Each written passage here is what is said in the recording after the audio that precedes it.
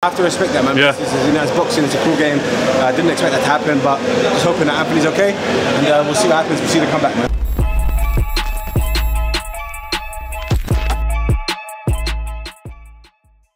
What went wrong for AJ tonight? He just looked, he just looked tired for some reason. Honestly, I'm confused. But Sam, brother, you okay? Yeah? What were you thinking when uh, he went down? Did you think it was over?